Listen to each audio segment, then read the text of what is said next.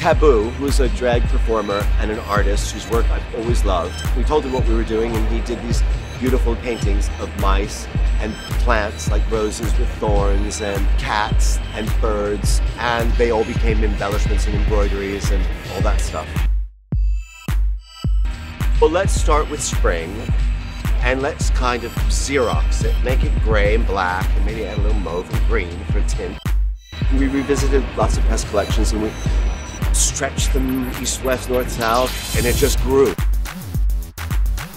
There's this feeling of like ghosts of New York a little bit, and references to Lydia, the character in Beetlejuice, and Christina Ricci, both who were in my, my campaign, and dark characters that I've always loved we were doing our fittings, and I said, maybe we should ask Gaga to be in the show. So we said, would you do it? She said, I just want to be another beautiful girl in your show.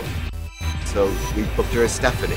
And I kind of love this idea of like this bourgeois, New York, gothy, downtown, matron, all those things. I always feel that fashion show should be some sort of a theatrical experience.